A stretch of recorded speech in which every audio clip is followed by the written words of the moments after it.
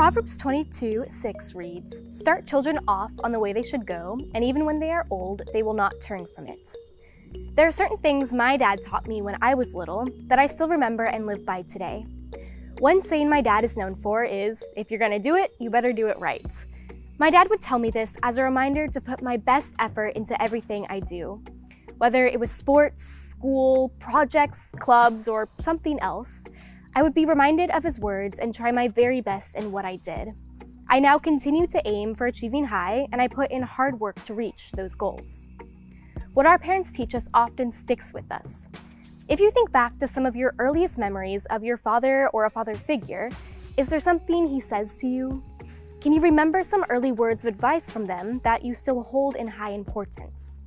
Most of us live our lives in certain ways due to how our parents raised us we often don't even realize how big of an impact our parents have on us. And parents, this is also a moment to think about how influential your words and actions can be for yours and others' children. Most children hold their parents and other adults in very high esteem. What you say, they take to heart. And according to Proverbs, they will continue to follow the ways you show them even in their old age. So, as Proverbs 22 6 asks us to do, parents, fathers, parental figures, make sure you are leading children down the right paths. Because whatever paths you are showing them now very well might be the paths they will continue to follow. What paths do you want them to follow? How can you help them to follow those paths? Start them on the right paths now, and they will continue to follow them.